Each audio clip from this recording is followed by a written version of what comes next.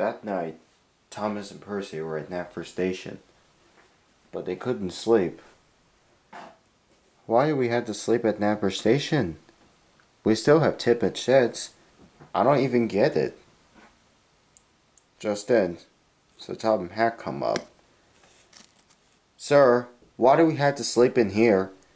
Because the Tidmouth shed hasn't been finished in yet, so the workers have to be finished.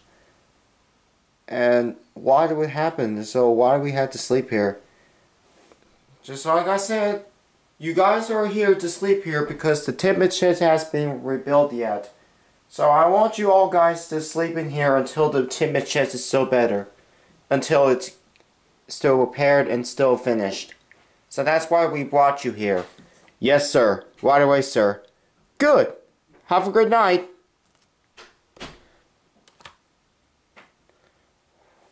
Wow. Well, Percy, we have an awesome time. Indeed, Thomas. So, should we go back to sleep? Of course, Percy. Thomas and Percy were still chatting, but they were really good, having an awesome time being friends. They didn't take any much until they went to sleep.